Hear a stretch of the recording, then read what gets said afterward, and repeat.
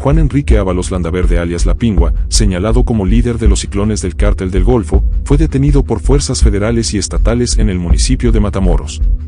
A El Pingua se le acusa de tráfico de drogas, migrantes, armamento y combustible entre otros ilícitos, fue detenido junto con cinco de sus escoltas.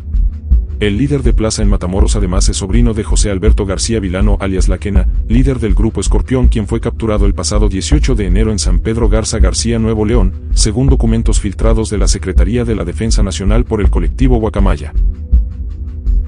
De acuerdo con la información filtrada, el Pingua es hijo de Aidel Andaverde Vilano, quien también es una dirigente criminal en Tamaulipas.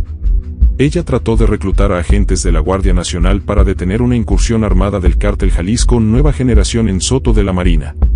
Según los informes de inteligencia de la Sedena filtrados, la Pingua alertó a su madre Aide alias Flaca de la incursión del cártel Jalisco Nueva Generación. El Pingua era un aliado importante de los escorpiones en la disputa que mantienen con los metros por el control de las plazas en Tamaulipas. De acuerdo con la consultora Lantia, en el estado de Tamaulipas son cuatro grupos los que se disputan el control del trasiego de drogas, todos escindidos del cártel del Golfo. Se trata de los metros, los escorpiones, los ciclones y los panteras. En ese estado además operan el cártel del noreste y los Zetas Vieja Escuela, ambos grupos escindidos de los Zetas.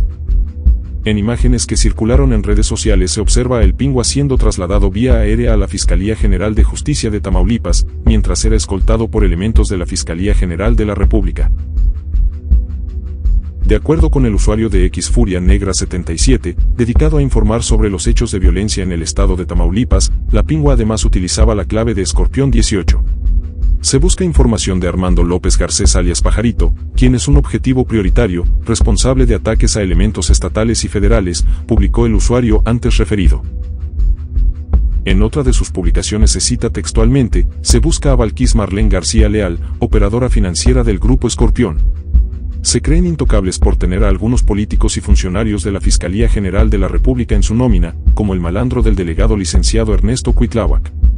Finalmente a través de la cuenta de X Furia Tinta, se difundió el siguiente video en donde aparece una mujer, señalada de pertenecer al grupo Escorpión, delincuente femenina de los escorpiones del cartel del Golfo de Matamoros, presumiendo en redes sociales como está dentro de un vehículo tipo monstruo, publicó el usuario antes referido, quien identificó a la fémina como la comandanta Bodoque o la Marramba,